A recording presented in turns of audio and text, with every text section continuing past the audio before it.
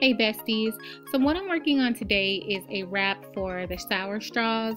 I'm doing this in Photoshop. Uh, you can also do it in Publisher Word uh, Silhouette. Not in Cricut just because the print and cut measurements are limited to 9.25 um, so you can't go as wide. We'll start with the measurements here and then we'll go into design and to assembling. Um, so the size that I use for my canvas here is going to be 4.75 in height and 10.5 in width.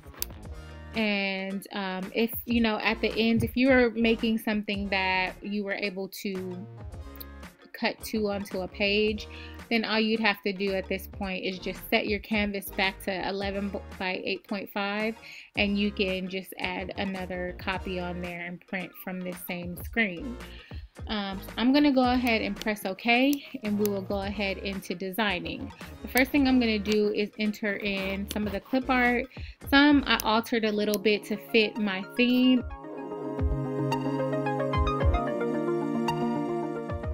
This I just got from Google. You can get them from Etsy as well. Um, all you have to do is just use the PNG version. This I made by just putting his face over the clip art. So, you know, you don't have to really get too fancy, but I just wanted to personalize it a little bit. And he got like a kick out of the fact that his face was on um, a race car driver body. So these I did in Photoshop. I can show you in a separate video how to do it. It's basically the Hot Wheel um, logo that I kind of switched around um, to add in his uh, birthday. I also did one with his name that I'm going to use for other things at the party. Um, but this I'm just going to use um, with sixth birthday. I'm going to start entering my text.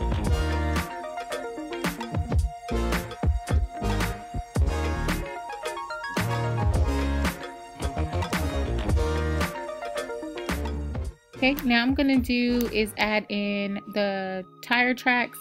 I got that from Google as well. All I did was type in tire track PNG and um, I found this one. So this is what I'm gonna use. I am going to end up uh, flipping this around and I'm gonna make it negative 90 and then I'm going to hold shift and I will make it thinner. And then I will add it here to the end of my son's name.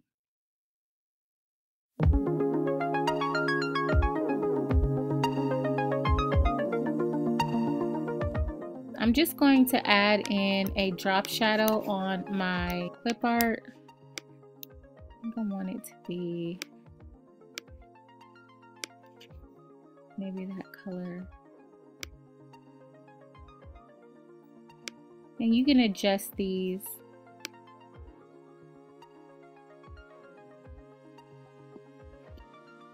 I think I want it kind of like that. But if you're ever you're doing like any other kind of clip art, you can always adjust that color here if you wanted it red like a particular red then you can click on the color picker and it will adjust it out for you. Um, I'm just going to go with um, like somewhat of a yellow.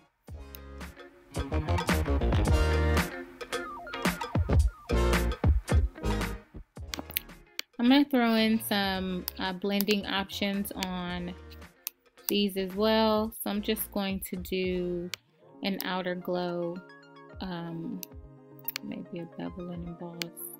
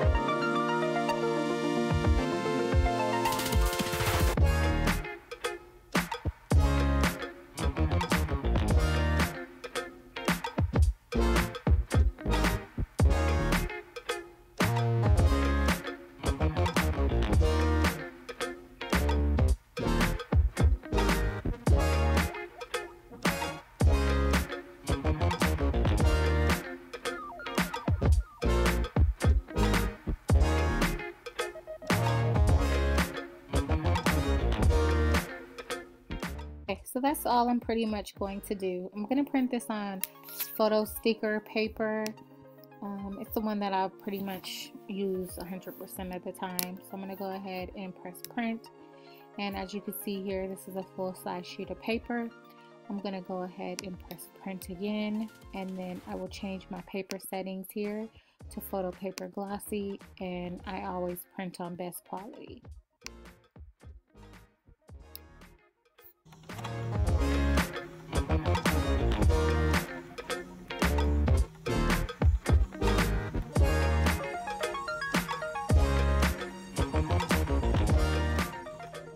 Okay, so I'm just gonna cut around my wrap.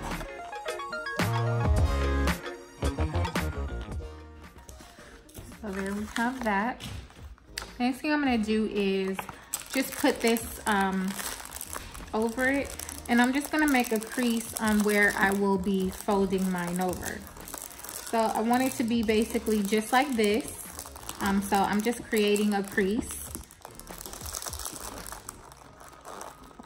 Right?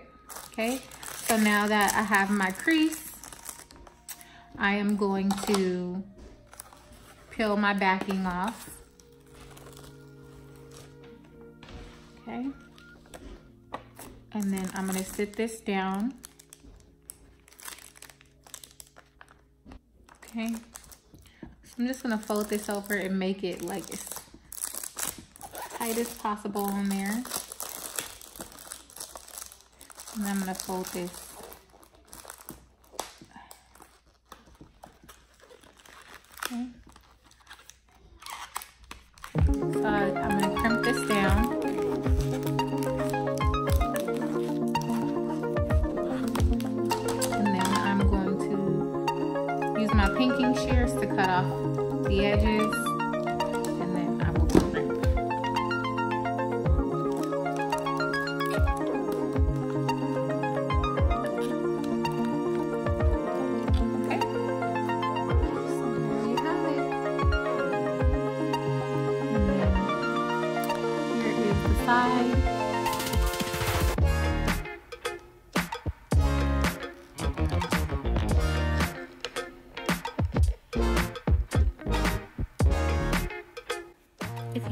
Questions, please leave them below in the comments. Thank you as always for watching, and I'll see you in the next video.